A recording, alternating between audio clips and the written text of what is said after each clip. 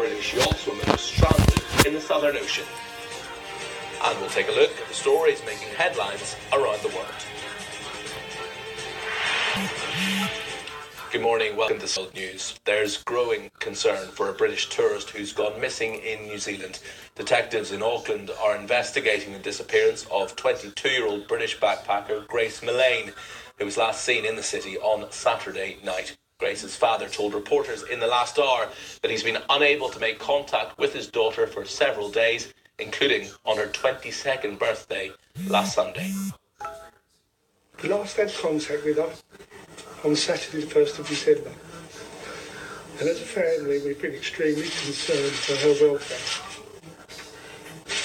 Grace is a lovely, outgoing, fun-loving, family-orientated daughter. Grace has never been out of contact for this amount of time. She's usually in daily contact with either her mother, myself, her two brothers, members of the family on social media.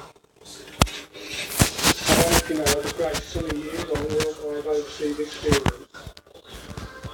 Grace started this travel journey in Peru in South America, and at the end of this was really looking forward to the second leg in New Zealand. She arrived here on the 20th of November and has been photographs and messages. We're all extremely upset and it's very difficult at this time to fully describe the range of emotions we are going through. Ministers were summoned to Downing Street yesterday afternoon as the British Prime Minister attempted to bolster support for her Brexit deal before a crucial Commons vote on Tuesday. But yesterday, one of the most influential Conservative backbenchers told Sky News she should drop the vote rather than risk a humiliating defeat. Our political editor Faisal Islam reports. A Prime Minister in need of a Christmas miracle. Cabinet's called to Downing Street today for an update on the parliamentary wrangling Number 10 insisted that they will push ahead with the vote next Tuesday. In the Commons, the economy on the agenda, and the Chancellor dispatched to warn of the dangers of not taking the Prime Minister's deal.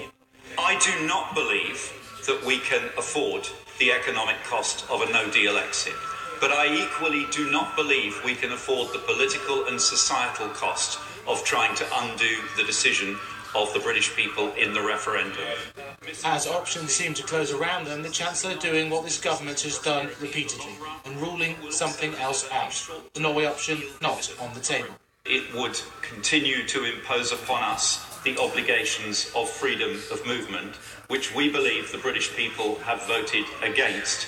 And traffic in the wrong direction, another day, another day, confirming they'll vote against it. If I'm to retain my integrity, I must now oppose. Elsewhere in Whitehall, a meeting of senior MPs to be briefed by the emergency committee of the government on no deal scenarios. Uh, well, all meetings are helpful. You know, all information is helpful. It's a confidential briefing, uh, a briefing on what's known as Privy Council accounts. So, uh, for those reasons, I can't share with you what happened in the meeting.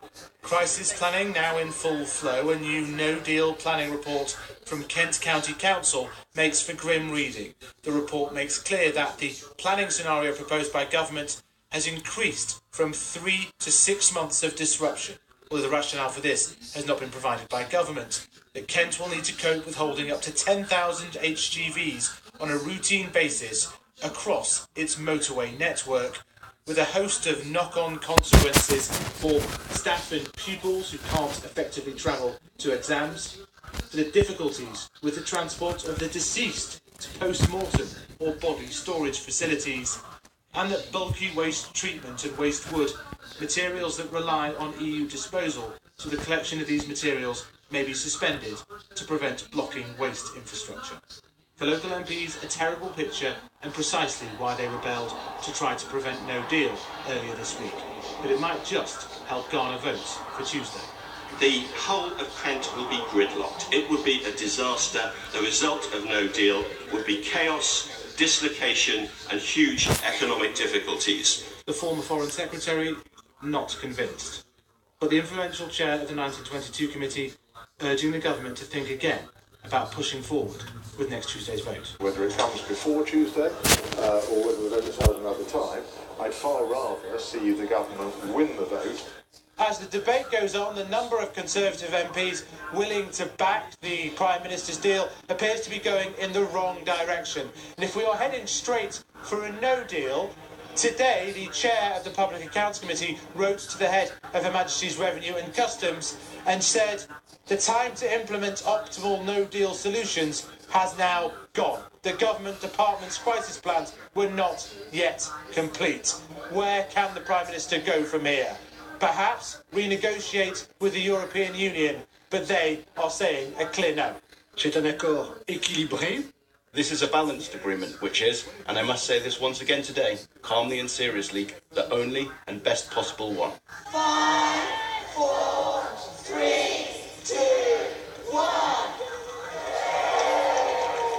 For Mrs May, the countdown now on to the biggest vote in living history and perhaps something that could end her premiership. But for now, her nightmare before Christmas goes on. Faisal Islam, Sky News. Stock markets around the world have had heavy losses, with the FTSE suffering its worst one-day fall since the Brexit referendum. One reason has been the arrest in Canada of one of China's most senior technology executives, the chief financial officer of the mobile giant Huawei. But that's not the only cause. Our economics editor Ed Conway has the details grisly day uh, for markets in the UK and uh, indeed in Europe and elsewhere around the world. Um, picking precisely what it is that has caused this is tricky. There are a panoply of different issues, but certainly that concern about China, trade wars with China, and indeed the arrest of the uh, CFO of Huawei in, uh, in Canada, in fact, it's the daughter of the founder, is a concern. Let's have a look at markets just across Europe, uh, and starting with the UK. Um, this was the biggest uh, fall that we've seen actually in the UK in almost three years now. 3.2% down uh, for the FTSE 100, 3.15 actually. Uh, the FTSE 250, that's not quite as international, so that's a very much more domestic market also, though.